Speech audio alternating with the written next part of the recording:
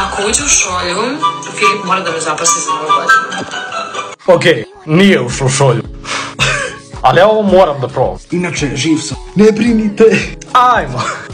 Imamo šolju i marke. Ok, ako ovo uđe, taše ja raskidamo do kraja godine.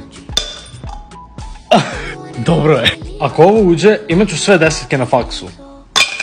O, pa ne bi baš rekao, ali ok.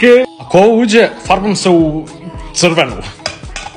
Dobro je. Ne bi mi stajalo, verujte mi. Ako ovo uđe, prestajem da snimam za TikTok.